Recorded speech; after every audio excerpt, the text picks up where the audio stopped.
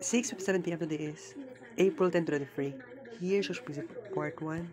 Evening Research Memory Vlog. Kids Paint, last session.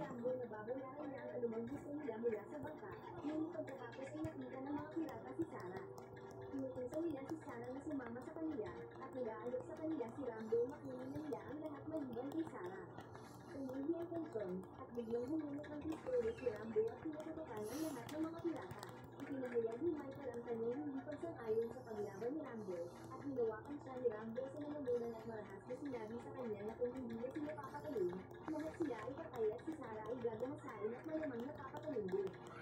Sinabi ni Rambo bumalik na sila, ngunit gusto ni Sarah na magpatuloy sila dahil sobrang lapit na sila.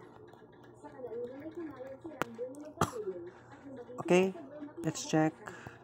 habang bumababa ang mga misyonero, sinabi ni Michael na kailangan niya isumbong si Rambo sa pagpatay sa mga pirata.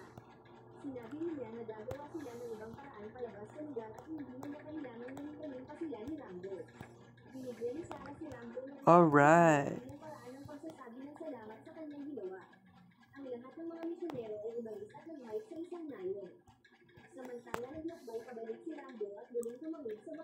240. Total number of kids paint pictures part 1 afternoon series. By the way, mag-kids paint po tayo last session. Ang isang misyonero ay isang dentista at sinisiyasat niya ang bibig ng lahat. Ang isa pang misyonero ay nahigil ng mga Biblia at nagsimulang mangaral tungkol sa Diyos. Naglalakad si Sarah sa kinaroroonan ni Michael kung saan ginagawa niya ang mga sundot ng mga tao. Tinitingnan ni Sarah ang mga tao na nawawala ang mga baby at klase bilang resulta ng mga anti-personal mind na sinadya upang permanenteng sulatan sa lamig na mamatay.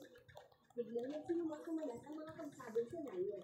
Lumaking na si Ay at ang kanyang mga kawal at pinagpatuloy nila ang pagpatay sa lahat ng nakikita nila.